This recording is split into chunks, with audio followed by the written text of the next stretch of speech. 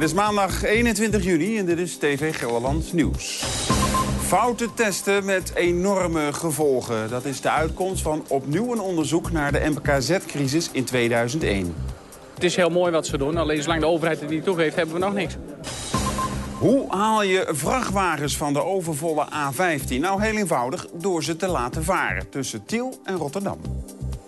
Dan zou het een mooie aanpassing zijn als je ze in Tiel op het schip kan zetten... en s'morgens in Rotterdam uit kunt venten. Zevenaar kampt er al jaren mee, verzakkende huizen. Waterschap Rijn en IJssel experimenteert met een oplossing.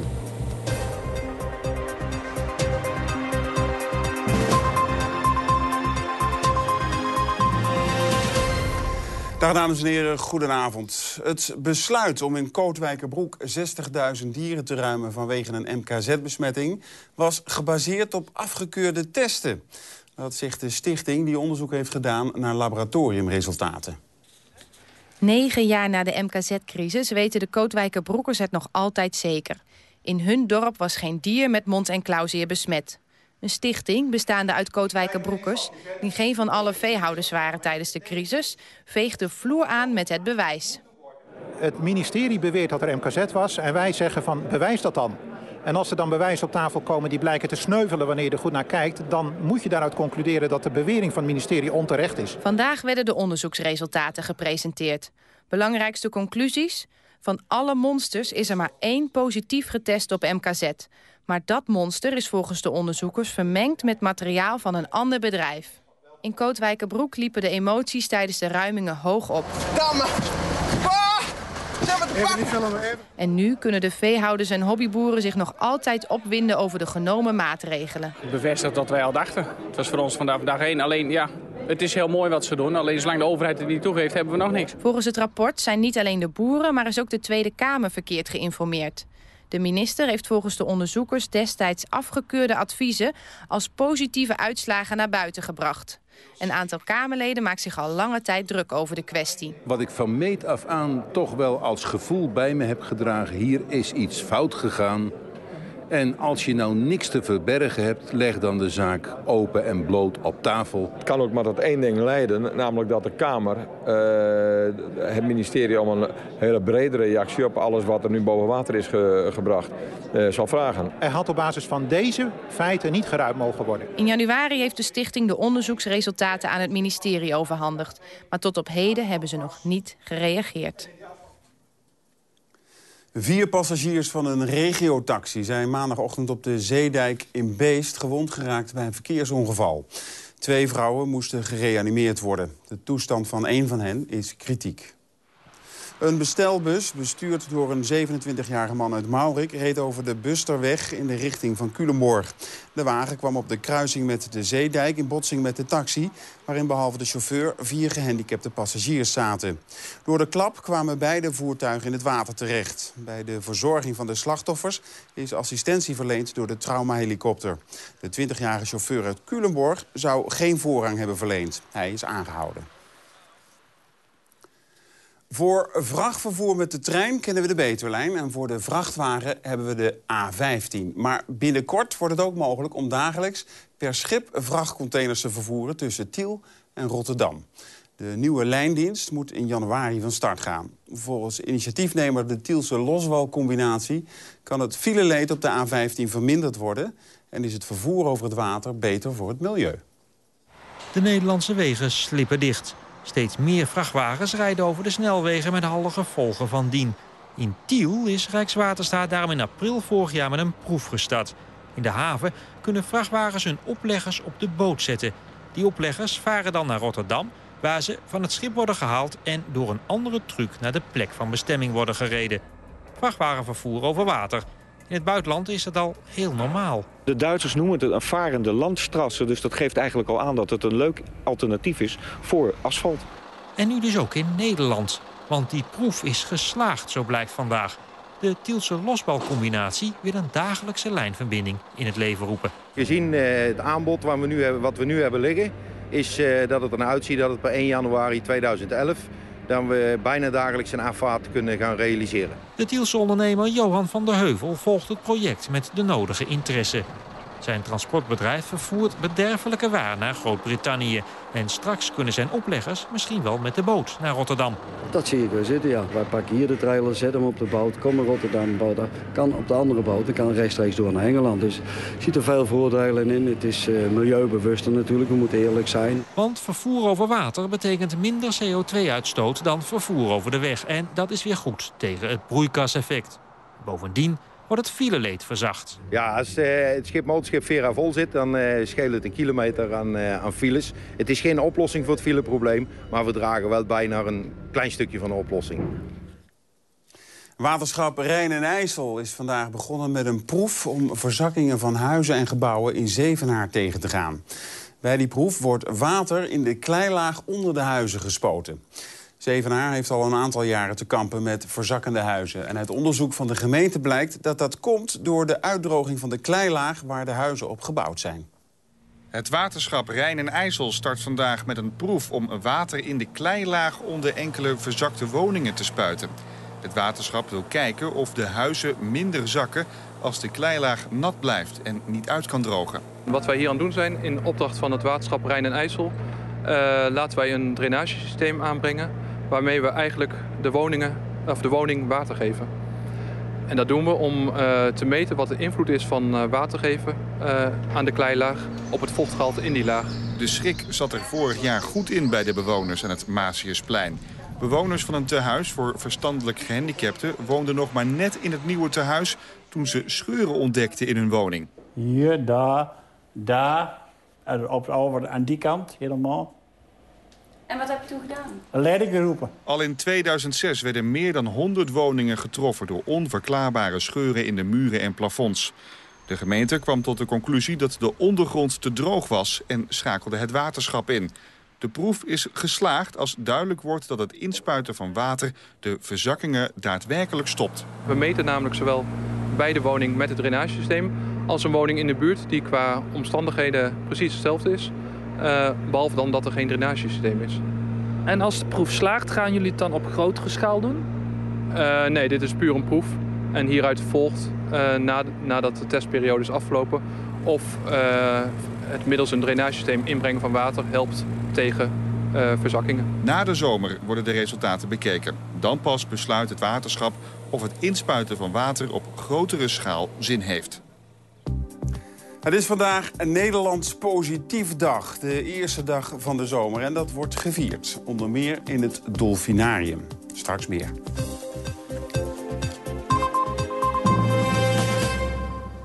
Schoolkinderen voeren woensdag in Arnhem actie voor het behoud van de bibliobus in Gelderland. Volgens de actievoerders is het verdwijnen van de bibliobus een groot verlies voor basisscholen en kleine kernen waar geen bibliotheek is. De provincie Gelderland zegt te moeten bezuinigen door kortingen van het Rijk. De bekenfabriek van Vion in Beuningen gaat dicht. Daarmee verdwijnen 66 arbeidsplaatsen. 30 medewerkers met een vaste baan kunnen waarschijnlijk aan de slag bij een andere vestiging. Vion wil de productie van bacon concentreren in Scherpenzeel en Doetinchem. In augustus slijt de vestiging in Beuningen. Vertrekken weer twee spelers bij voetbalclub Vitesse. Claudemir gaat naar FC Kopenhagen en Stefanovic staat in de belangstelling van FC Köln. De middenvelder doet momenteel voor Slovenië mee aan het WK in Zuid-Afrika. Bij Vitesse had hij door een blessure geen vaste plaats meer. Justitie heeft 45 nieuwe tips binnengekregen over de vuurwerkramp in Enschede. Politiekorps Noord- en Oost-Gelderland leidt het heropende onderzoek. Dat is ingesteld nadat nieuwe getuigen aan het woord kwamen bij RTV Oost. Bij de ramp kwamen 23 mensen om het leven. Ondernemers, maatschappelijke organisaties en gemeenten hebben vandaag met elkaar gesproken over de toekomst van de Achterhoek. Ze kwamen bijeen in Lievelde om over problemen als vergrijzing, bezuinigingen en de economische crisis te praten. De komende tijd worden de plannen uitgewerkt.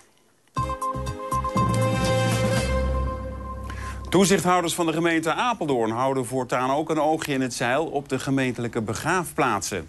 Aanleiding is een reeks diefstallen en incidenten op, de, met, op met name de begraafplaatsen Heidehof en Soerenseweg. Pieter van Vollenhoven stopt als voorzitter van de Onderzoeksraad voor Veiligheid. Zijn termijn loopt af en hij kan niet worden herbenoemd. Van Vollenhoven is 71 jaar.